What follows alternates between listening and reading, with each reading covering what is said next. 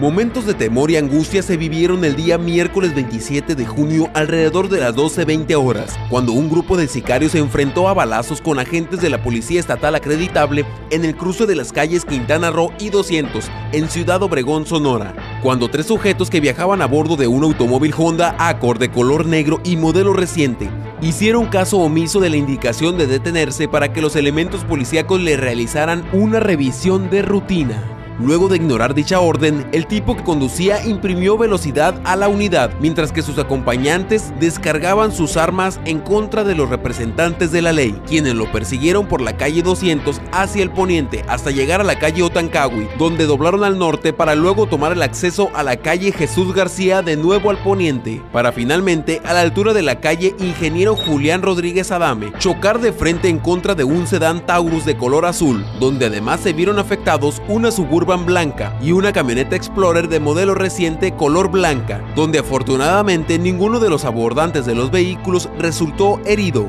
En el mismo lugar, los agentes de la Policía Estatal Acreditable detuvieron a los tres tipos que viajaban en el vehículo negro, a quienes se les decomisó dos rifles de asalto AK-47, mejor conocidos como cuernos de chivo, y una pistola escuadra calibre 40 milímetros. De inmediato, los tres sujetos detenidos, a quienes se les identificó con los nombres de Miguel Ángel Guerrero Heredia, oriundo de la ciudad de Los Mochis, Sinaloa, Andrés Angulo León y Carlos García Coronel, del ejido Yucuribampo, fueron llevados al Centro Integral de Procuración de Justicia, quedando a disposición del Ministerio Público del Fuero Común.